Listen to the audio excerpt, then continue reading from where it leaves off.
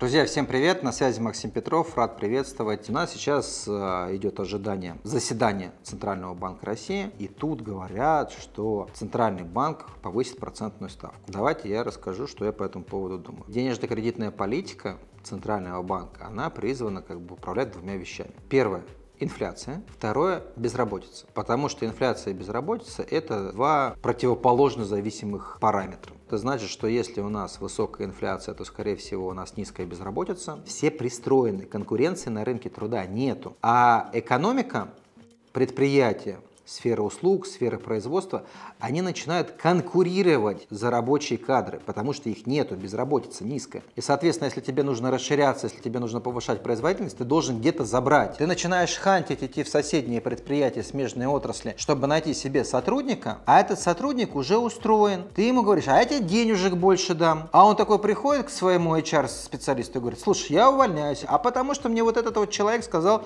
что они мне больше заплатят на 20%. А тот, у которого уходит, у него самого запрос тоже на расширение штата, потому что государство финансирует.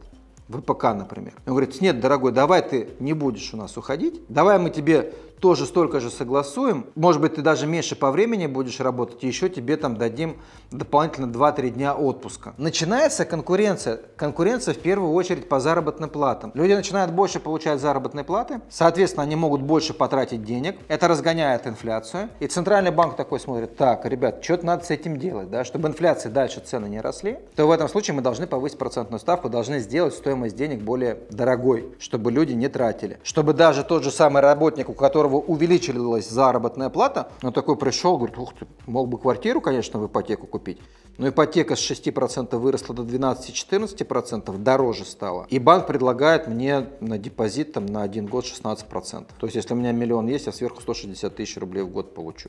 А если 10, то миллион шестьсот. И получается, он в ипотеку не покупает, он начинает размещать эти деньги на банковском депозите. Машину он не покупает, он размещает деньги на банковском депозите. Что приводит к тому, что это оказывает противоположное воздействие на рост цены. Вопрос, угадал Максим, не угадал, Максим. Не должен перед вами стоять. Вы самостоятельно можете прогнозировать на основе отслеживания двух показателей. То есть вы можете спрогнозировать, что будет Центральный банк делать со ставкой, когда вы смотрите на два показателя. Уровень безработицы в стране, инфляция ну, то есть каковы реальные цифры инфляции в годовом исчислении, растет она, замедляется, стоит на месте. И еще такой связанный фактор – инфляционное ожидание у населения. Почему у населения начинает расти инфляционное ожидание? Потому что у них доходы начинают увеличиваться. И когда доходы начинают увеличиваться и говорить из всех утюгов, да, доллар будет по 150, люди такие, блин, ну если доллар будет по 150, это получается все импортные товары будут дороже процентов на 60 через полтора-два года, поэтому я лучше сейчас потрачу. Люди, чтобы погасить эти инфляционные ожидания, идут в магазин и покупают, увеличивая тем самым спрос. А продавец не может предложить соответствующее количество товаров и цену начинает повышать, начинает работать законы спроса и предложения. Почему все следят за заседанием Центрального банка и особенно следят за комментариями после заседания? Потому что в комментариях и глава Центрального банка, и, и зампреды говорят, что происходит с ожиданиями населения. Если вы посмотрите, откуда суета началась, что все плохо, что процентную ставку повысить. Потому что Центральный банк говорит, да, мы ставку повысили, и повысили ее существенно. Думали пока не повышать, просто посмотреть, понаблюдать. Но инфляционное ожидание населения по-прежнему находится на высоких значениях. И Центральному банку нужно это погасить. Но дело в том, что те инфляционные ожидания, то, что происходит с реальной инфляцией, повышение на 1%, даже до 17% процентной ставки Центральным банком, но ситуацию не спасет. То есть повышать нужно кардинально, радикально, там, до 20-25%. На это в текущих условиях никто не пойдет. Рассуждение, философствование по этому поводу может быть сколь угодно долго. Давайте к предмету. Что делать, исходя из этих ожиданий? Первое.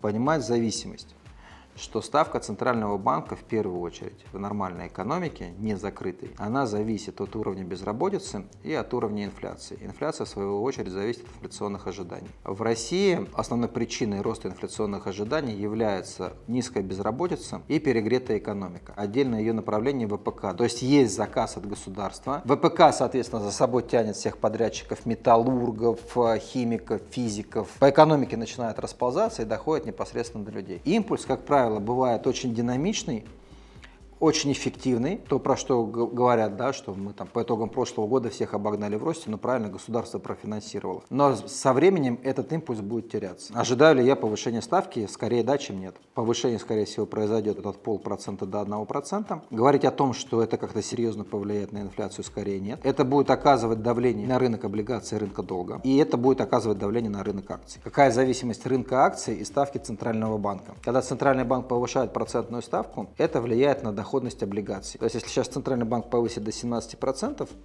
доходность облигаций тоже должна вырасти по всей кривой доходности на 1%. То есть облигации должны упасть в цене в зависимости от дюрации от 3 до 15%. С одной стороны это болезненно, особенно для людей, кто покупал облигации с фиксированным доходом. С другой стороны, но не спасет эту ситуацию от инфляции, да, помимо гашения вот этого стимулирующего эффекта государственного финансирования ВПК, схода на нет этой ситуации, ситуация с инфляционными ожиданиями начнет выправляться. Инфляция начнет замедляться, и ЦБ пойдет на снижение процентной ставки. Что бы делал я в текущих условиях? Полугодовые, годовые депозиты под 16% интересны. Очень интересным может стать начало покупки облигаций после заседания 7 числа, когда будет принято решение, и если процентную ставку повысит, рынок долго обязательно на это отреагирует. Можно будет купить привлекательные облигации, зафиксировать для себя на горизонте в 5-10 лет доходность от 15% на весь срок. Очень хорошо, я думаю, отработают э, в этом случае фонды ликвидности, которые есть на российском рынке ценных бумаг, потому что они напрямую привязаны к ставке. Поэтому там паи фондов подрастут. Как раз таки где-то на 1% будут давать высоколиквидную доходность э, в районе 16%. Ну и линкеры будут как бы в топе, потому что они дают привязанные к инфляции. То есть до конца лета Линкеры, флуаторы можно держать в портфеле. Если у вас они уже были в портфеле, их лучше продавать, перекладываться в среднесрочные, долгосрочные облигации. До конца лета, после небольшой коррекции, после 7 числа заседания, на ожиданиях рынок немного просядет плюс дивидендный ГП. Можно покупать отдельные акции, что я и буду делать в проекте «Миллион долларов за 8 долларов в день». Для своих детей у нас э, планируется летом большая покупка, это практически на 100 тысяч рублей нужно будет закупить акции, причем должно прийти достаточно большой объем дивидендов. Более подробно о проекте вы можете узнать в ссылочке к данному видео. Есть бесплатный мастер-класс «Как достигаю капитала в 1 миллион долларов, инвестируя в акции российских компаний». Там все подробности. Этот момент буду, конечно же, использовать сейчас. Очень интересная история, потому что когда растет ставка ЦБ, растет доходность депозитов, растет доходность облигаций, акции становятся непривлекательными. Акции начинают продавать и перекладываться в облигации. У меня уже много облигаций было, и у меня сейчас есть и хорошие ресурсы. Дивиденды, которые придут, доходы, которые концентрируются от выплат купонов по облигациям. Облигаций достаточно высокая доля была. То есть это хороший момент э, будет на лето переложиться в акции. Ну а там дальше будем непосредственно смотреть. Резюмируя по теме Центрального банка, ставку скорее повысят, потому что высокие инфляционные ожидания снижать начнут не раньше 2025 года. Сейчас основные данные, которые влияют, растут инфляционные ожидания, низкая безработица, это, это импульс для инфляции. Каким образом еще это можно погасить? Увеличить налоги. Дифференцированное изменение налогов, да, то есть кто сколько получает, сколько платит. Начинают там люди конкурировать по заработным платам, значит, чтобы разница в этой заработной плате не пошла в экономику, не давила на инфляцию, заплатите государству просто дополнительный налог. Думаю, что мы увидим значительные изменения в рамках законодательства по банковским депозитам. Население имеет на депозитах порядка, по различным оценкам, от 40 до 50 триллионов рублей которые лежат сейчас под ставку 15%. Это у нас получается 7,5 триллионов рублей только банковских э, процентов невозврата депозитов, процентов, которые должны быть выплачены. С пониманием того, что физические лица, дружественные резиденты, которые работают на российском фондовом рынке, общий объем их активов на российском фондовом рынке по текущим ценам оценивается где-то в районе 11 триллионов. То есть 7,5 триллионов это депозиты, 11 триллионов – это, соответственно, деньги, которые будут получены. И на эти 7,5 триллионов рублей по банковским депозитам, скорее всего, придется какое-то изменение в рамках законодательства, связанного с дополнительной оплатой какого-то налога специального, который может быть введен. Иначе очень высокое давление. Оборотной стороной этой истории является то, что если Центральный банк повысит до 17, до 18, до 20 процентов, с этой базой физических лиц 50 триллионов рублей вы ничего не сделаете. То есть, значит, надо будет платить более высокую. А это опять инфляционное давление. Кто-то из аналитиков, из блогеров говорит, что это проблематика, что это инфляционное ожидание будет только подстегивать. Да нет там никаких проблем. Проблемы будут э, со стороны государства решены очень просто. Увеличение налоговой нагрузки по доходам от банковских депозитов. И подумайте тогда, куда это все пойдет. Это или недвижимость, но недвижимость перегрета и не, бу- не будет большого стимула.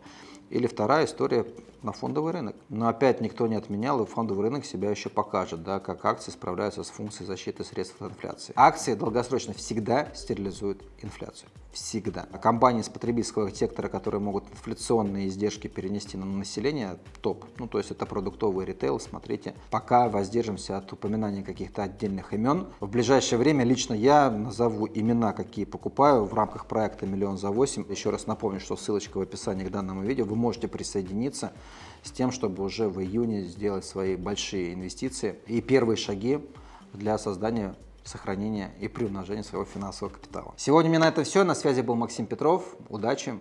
Пока-пока.